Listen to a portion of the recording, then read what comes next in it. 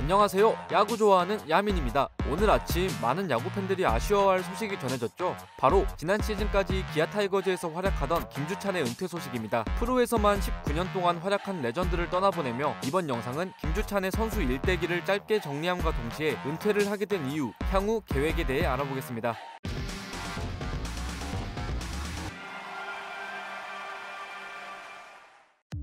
올해 만 39세의 나이로 은퇴를 선언한 김주찬은 2000년 삼성 라이온즈에서 데뷔했습니다. 이미 고교 시절 제2의 이종범이라고 불리며 대형 오툴 유격수 자원으로 유명했습니다. 데뷔 첫 해부터 대수비, 대주자 등으로 60경기에 출장하며 고졸 신인치고는 많은 기회를 부여받았습니다. 하지만 이듬해인 2001년 롯데와의 2대1 트레이드에 포함되며 팀을 옮기게 됩니다. 신인왕 후보까지 거론되기도 한 김주찬은 이적 직후부터 공익근무 요원으로 입대한 2004년까지 내야 여러 포지션을 소화하는 멀티 자원으로 활용 되며 나쁘지 않은 contact과 함께 쏠쏠한 활약을 이어갑니다. 그리고 제대 후 맞이한 2007년 내야 수비 때 송구가 너무 좋지 못하자 포지션이 외야수로 전향됩니다. 그렇게 2007년을 보통의 성적으로 마무리한 김주찬은 베이징 올림픽 최종 예선 국대로 선발됩니다. 당시 여론은 국대감은 아니라는 평가가 대다수였지만 우타 외야수가 필요했고 내야 수비, 대주자 등 다방면으로 쓰임새가 많아서 뽑혔다고 합니다. 김주찬은 대회에서 6할이 넘는 타율로 말 그대로 날아다녔고 다음 시즌인 2008년부터 전성기가 시작됩니다.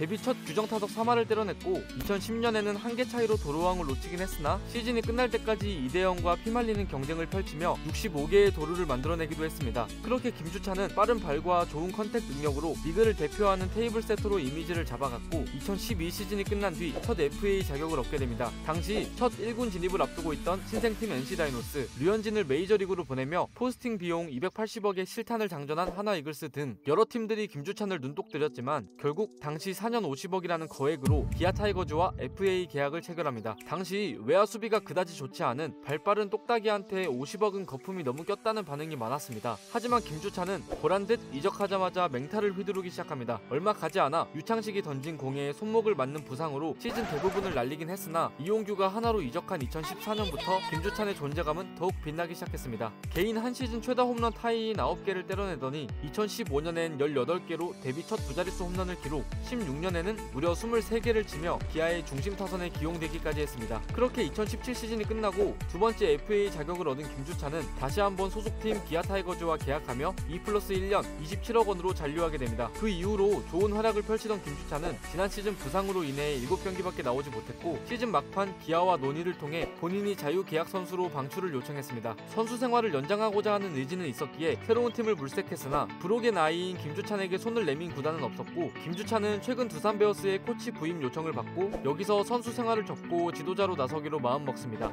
19년의 프로 생활 동안 1778경기, 통산 3할, 1887안타, 782타점, 1052득점, 138홈런, 338도루라는 기록을 남기며 프로야구 역사의 호타준족을 대표하는 타자로 이름을 남기게 되었습니다. 두산 베어스는 최근 1년차 코치를 많이 데려왔습니다. 대표적으로 조성환, 조인성 등이 그 예인데 다음 시즌부터 선수가 아닌 지도자로 모습을 보일 김주찬의 모습과 두산 베어스 유니폼을 입고 있을 김주 찬의 모습이 기대되는 다음 시즌입니다.